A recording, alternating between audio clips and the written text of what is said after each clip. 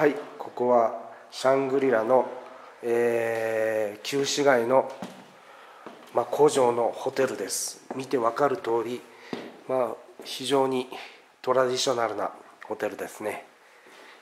館内暗いでしょう。なんで暗いかと言いますと 13時から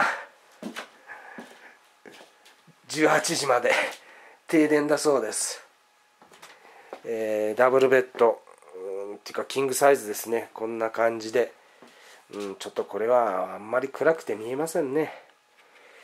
えー、まあこんな感じです。初めてですね停電っていうのは。また電気がついてからご案内しましょう。さようなら。財前。